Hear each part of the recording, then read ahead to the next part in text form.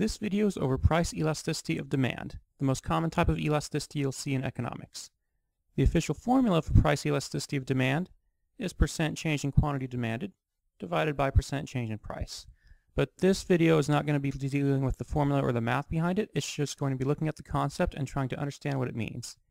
Elasticity basically deals with how much your demand changes when your price changes. Basically, are you price sensitive? Do you care about the price a whole lot? So let's start by just looking at a couple examples.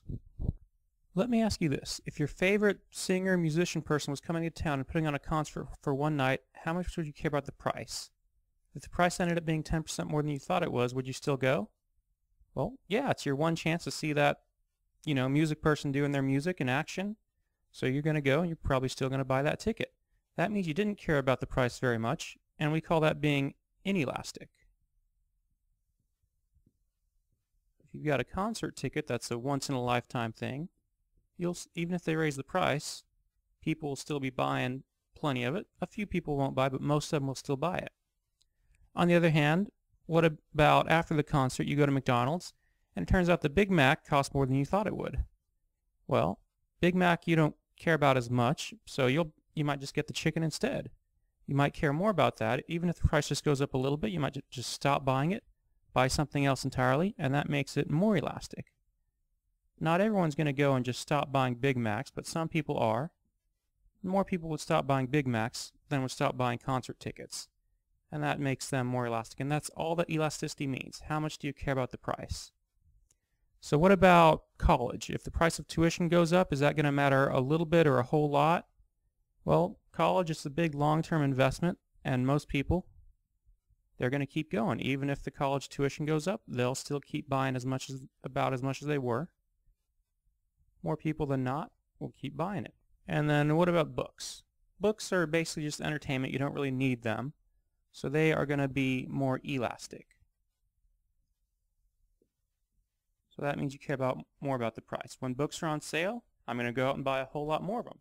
If books get more expensive, I'll just start buying movies or something else instead. But price really, really matters for books, so they are more elastic. And that's pretty much all that elasticity is there. You just want to know if how much the price matters. Now there are two special kinds of elasticity. You could be perfectly inelastic or you could be perfectly elastic. Perfectly inelastic is when you don't care about the price at all. A good example of that might be heart medicine. If you don't get it, you'll die. So when the price goes up, you will still get it. No matter what the price is, there's still the same amount of people trying to get the same amount of heart medicine. And that's perfectly inelastic. When the price doesn't matter at all, you still get the same exact quantity demanded.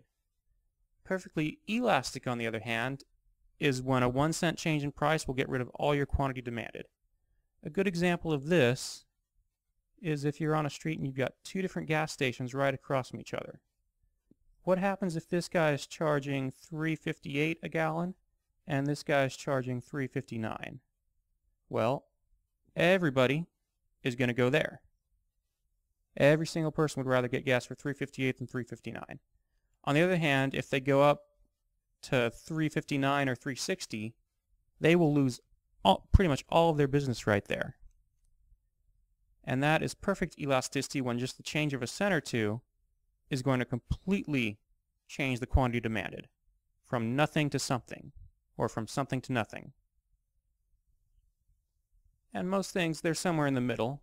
They might be a little bit more elastic or a little bit more inelastic, but most things are in the middle between perfectly elastic and perfectly inelastic. But that's all that elasticity is. How much does the quantity demand depend on the price change? How price sensitive is your product? reetutorsmath.org